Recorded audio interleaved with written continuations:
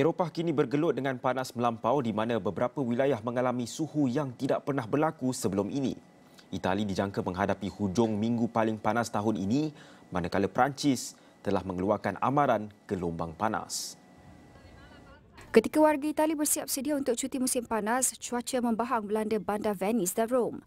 Menurut laman web ramalan cuaca, gelombang haba Caron akan membawa suhu yang boleh melebihi 40 darjah Celsius di selatan Itali. Gelombang haba Itali ini mengekalkan amaran merah aktif di 17 bandar termasuk Rome dan Florence. Pertubuhan Kesihatan Sedunia WHO telah memberi amaran tentang kesan teruk peningkatan suhu terhadap penduduk Eropah. Dengan Eropah sebagai benua yang paling cepat panas, dianggarkan 175,000 orang mati setiap tahun disebabkan berkaitan haba. Hujan minggu ini pelancong di Itali telah merasai bahang panas dengan bandar seperti Florence, Rome dan Palermo dalam keadaan berjaga-jaga.